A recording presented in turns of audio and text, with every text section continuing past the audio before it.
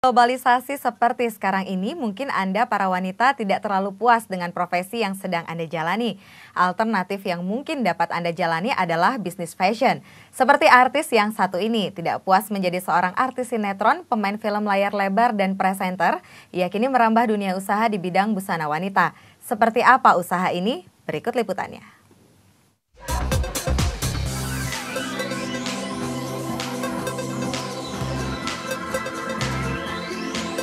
Kebutuhan hidup bisa saja sudah terpenuhi bagi Anda, namun kepuasan berkarya mungkin yang sedang Anda cari saat ini.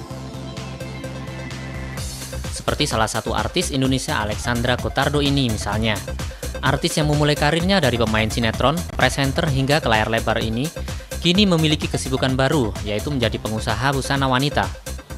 Diiringi musik dari seorang DJ, para model memperagakan busana baru karya Alexandra, yang dibantu oleh dua desainernya, Massimo asal Italia dan Catherine asal Indonesia.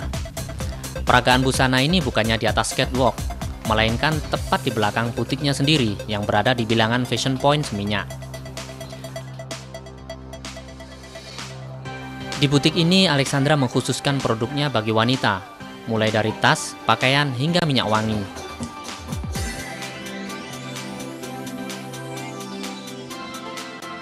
Saya seneng banget ke Bali dan sering banget ke Bali.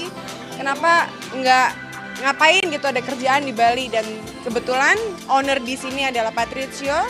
Dia teman saya sudah lama. Dia bilang Alexandra ini butik buat uh, kamu ini aja jadiin apa gitu. Saya sempat mikir, oh ya kenapa nggak saya buat baju aja dari sini gitu.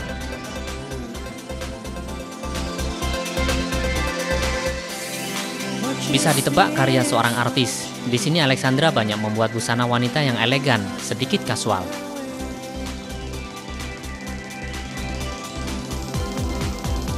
Uh, uh, usually we we use the tempo for the chic ya, chic, elegant, and little bit casual uh, trend ya. I mean, we following the trend from the other. I mean, my our icon for this is Europe ya. Nah, bagi anda para wanita yang ingin mencoba hal yang baru, anda dapat mencoba alternatif bisnis ini.